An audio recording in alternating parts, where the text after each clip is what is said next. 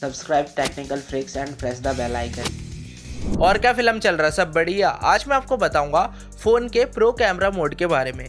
जैसे डीएसएलआर में ऑटो और मैनुअल होता है, वैसे फ़ोन में भी होता है, जो हम रेगुलर बेसिस पे यूज़ करते हैं ऑटो मोड होता है। एक आप देखोगे तो प्रो भी होता है, जिसे हम मैनुअल भी कह सकते हैं, क्योंकि उसमें सारे चीज़ें हम मैनुअली सेटिंग्स कर सकते हैं, चाहे वो मतलब अपेरचर हो जाए आईएसओ हो, या आपका जो फोकल लेंथ या फोकस हो, वो सब भी हम मतलब सेट कर सकते हैं। काफ़ी सारे लोग इसको जानते हुए भी यूज़ क्यों नहीं करते, इसका मेन वजह है कि उन्हें यूज़ पता नहीं और क्विकली फ़ोटो लेना चाहते हैं। हम नॉर्मली ऑटो मोड पर लेते हैं बट काफ़ी टाइम ये मतलब सही नहीं आ पाता। तो आज इस वीडियो में उसका मैं पूरा यूज़ बताऊँगा एक एक चीज़ के बारे में और कैसे आप कमाल कमाल के फ़ोटोज़ वगैरह ले सकते हैं अपने फ़ोन के कैमरे के प्रो जो मोड को यूज़ करके।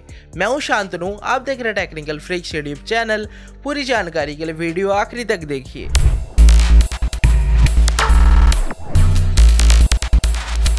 जैसा कि मैंने अभी बताया, जो ऑटो मोड है, सबसे ज़्यादा यूज़ होता है क्योंकि बाय डिफ़ॉल्ट ऑटो मोड पे ही फ़ोन का कैमरा खुलता है।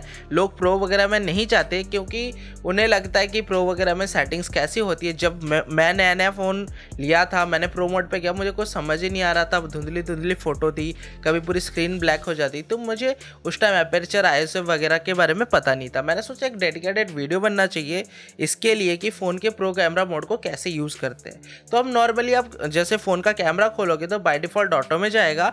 ये डिपेंड करता है हर फ़ोन में मतलब कौन कौन सी सेटिंग्स से, है बट प्रो जो है मैनुअल या प्रो आपको हर फ़ोन में मिलेगा।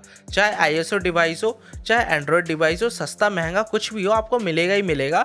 और जो सारे सेटिंग्स है एक ही टाइप की आपको बस कंसेप्ट समझना है कि कैसे काम हो रहा है। और साथ ही साथ तो आपको पैनोरोमा वगैरह मिलता है वैसे ही आपको प्रो भी मिलेगा। जैसे इस कैमरे में सैमसंग का फ़ोन है मेरा एस सिक्स एच जिसमें ऑटो जैसे ऑटो में चल रहा है ऑटो में कोई फ़ोटोज़ क्लिक करता हूँ तो जो प्रोसेसर है जो इसका आर्टिफिशियल इंटेलिजेंस है अपने आप ऑप्टिमाइज़ करके एक फ़ोटो क्लिक करता बट काफ़ी टाइम सही नहीं आ पाती।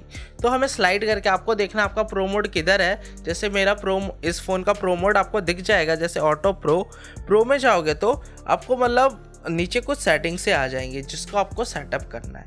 सबसे पहले मैं इनके बारे में बता देता हूँ, क्योंकि इनके बारे में जानोगे तभी आप सीख पाओगे। ऐसे कोई मतलब करेक्ट वो नहीं है कि कौन सा किस पॉइंट में रखे तो सही। मतलब बिल्कुल परफेक्ट फ़ोटो आएगी। ये मतलब डिपेंड करता है कंडीशन में फ़ोटो पे।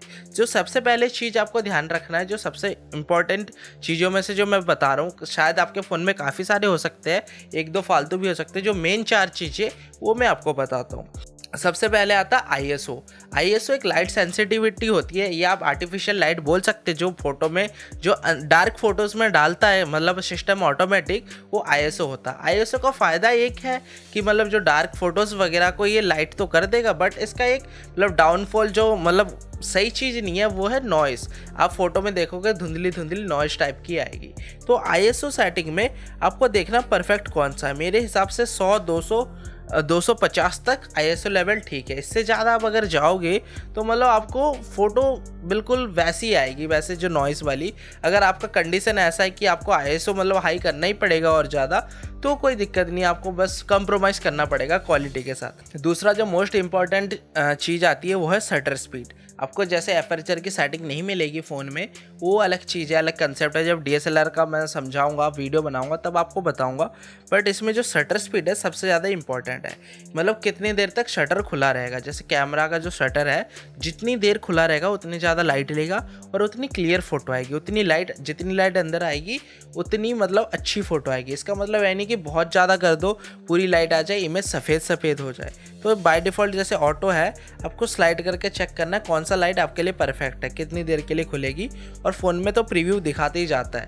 ये शटर स्पीड आपको मतलब करना है और आईएसओ आपको लो रखना है। शटर स्पीड आपको चाहे मतलब बिल्कुल स्लो कर देना कि बहुत देर तक खुला रहे, फिर बंद हो।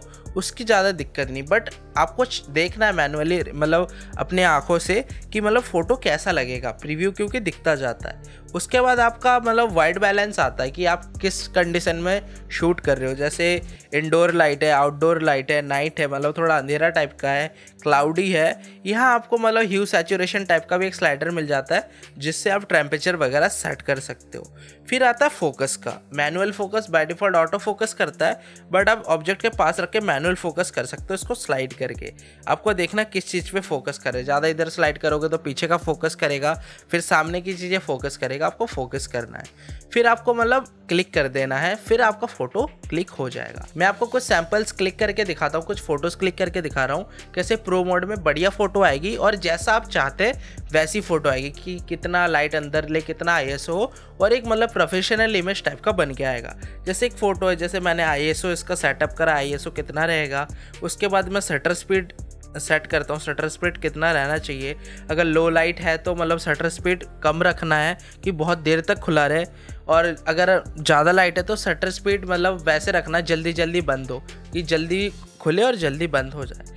इसके बाद आपको वाइट बैलेंस जैसे आपको रखना है, वैसे मतलब जैसा कंडीशन है, वैसे रख देना आपको और एक मैनुअल फोकस का। हो सकता है आपके फ़ोन में और भी काफ़ी ऑप्शन हो, वो आपको देखना बट जो मेन चार चीज़ें हैं, ये यही है। ऐसे करके मैं फ़ोटोज़ वगैरह क्लिक कर सक कर रहा हूँ तो आपको, आप देख सकते हैं कि कितना ज़्यादा फ़र्क है। मतलब जैसा मैं चाह रहा हूँ कि किसी में नॉइजी फ़ोटो है ऑटो फोकस में काफ़ी का टाइम जो ऑटो फोकस है, काफ़ी अच्छा काम कर देता है मैनुअल से, पर अब मैनुअल पे आपके हाथ में पूरा कंट्रोल है, आप कैसे कर सकते हो? आप कुछ सैम्पल्स देख सकते हैं, कुछ ऑटो के वहीं मैनुअल में सेटिंग्स करके। बस यही था इस वीडियो में, आपने देखा कैमरे के प्रो मोड को कैसे यूज़ करते हैं और मैनुअली सारी सेटिंग कैसे करते हैं, जिसका आपका इमेज मनचाही इमेज ले सकते हो, मनचाही फ़ोटो क्लिक कर सकते हो, जैसा आप एक्चुअली चाहते हैं। और मैंने सैम्पल्स भी दिखाया कि कितना ज़्यादा फ़र्क है। काफ़ी टाइम ऑटो मोड अच्छा लेता क्योंकि मैनुअल हमसे सेटिंग सही से हो नहीं पाती।